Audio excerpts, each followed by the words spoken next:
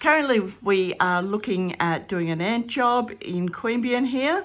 And I've got Dave. What are you doing now, Dave? I'm putting down a pesty dot Yes, to identify where the bait is going to go. yes, Putting it on the edge of the window. yes.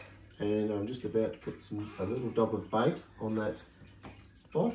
And this is where the ants come through, is Yeah, it? That's where the ants will come through and grab that and Right. take it back to the nest. Oh, excellent. And kill the nest, Dave? Is that the... the... That's what we hope. Yeah. We're going to do a little bit more treatment outside.